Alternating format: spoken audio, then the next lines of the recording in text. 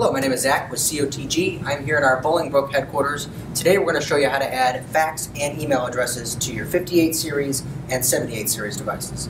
Before we can do that, first thing you need is your machine's IP address. And I'm going to show you how to get that right now. To get your machine's IP address, walk up to the device, select the machine status button, and in the middle column you'll notice where it says IPv4 address, the number underneath that is what you will want to write down. Write that number down and then bring it back with you to your desk. Once you get back to your desk, I want you to open up a web browser. I'll use Internet Explorer in this case.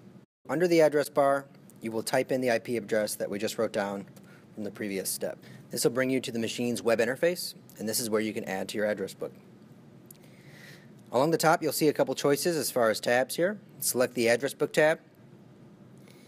If you're prompted for a password, the username is admin. That's A-D-M-I-N, all lowercase, and the password is 1111. That'll bring you to the device address book page that you see here. If you want to add to the address book, just simply click the button in the top left-hand corner that says Add. From here, you'll be prompted in to type in a first name or last name or a company name. The display name will populate itself.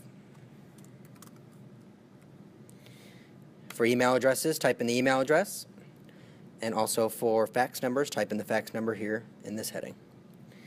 Once you type in an email address, if you'd like to add it to your favorites, feel free to hold your mouse over the star button here to the right of the email and highlight that box.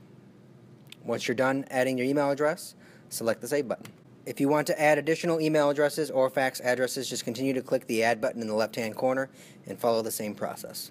Just remember, after you enter in your information, click the Save button down in the right-hand corner. Once you're done, you can close your browser.